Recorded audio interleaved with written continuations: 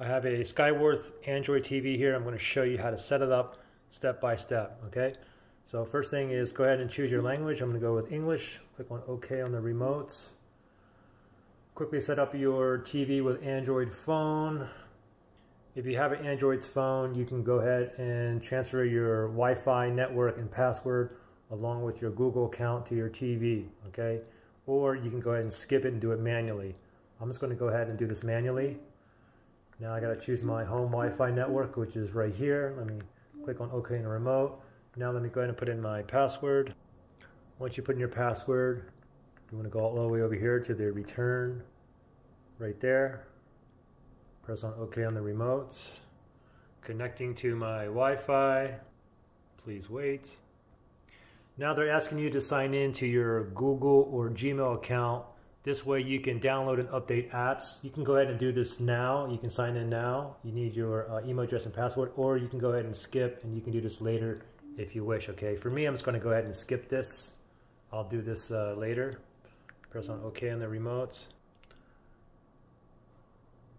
Before this was terms and service, you have to accept to proceed, okay? So accept it. Now this page comes up, uh, location.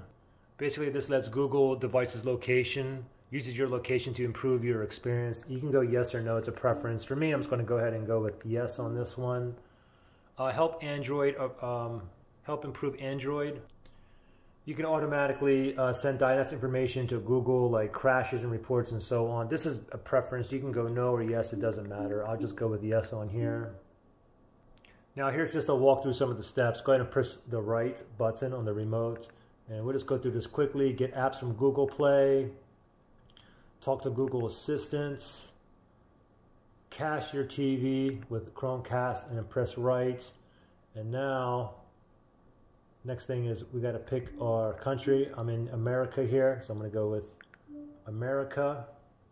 going to choose my time zone, Pacific time here. I'm in Los Angeles.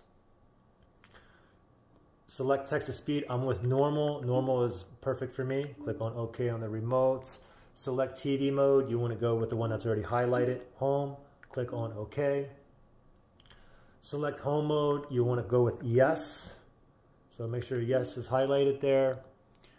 Uh, Chromecast built-in, always available. That's up to you. You can keep it off or keep it on. For me, I'm going to go ahead and keep my Chromecast always on because I like to cast uh, things onto the TV.